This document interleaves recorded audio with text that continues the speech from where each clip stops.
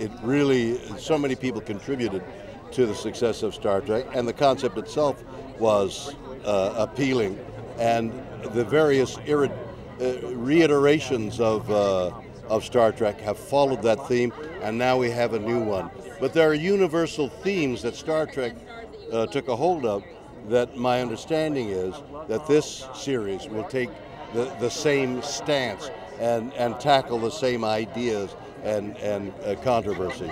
All these years, he has been just the person he is now. And just to see him today is wonderful. Um, he's like, it's like family. It's like family. Yes.